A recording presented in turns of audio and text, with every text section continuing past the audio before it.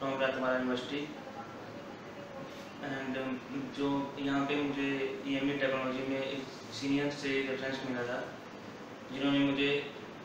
इसके कंपनी के बारे में बताया था और उसमें मैंने शशि मैम जी से गाइड ली, जिसमें उन्होंने मुझे अच्छे से गाइडलाइन दी और सभी मतलब जितने भी मार्केटिंग फाइनेंस एच सभी में गाइडलाइन किया। उसके बाद शिव सर जी ने, सर ने मुझे मार्केटिंग में अच्छे से साथ सब कुछ इन्वायरमेंट वगैरह जितना मार्केट में होता है, वो सब कुछ बताया। है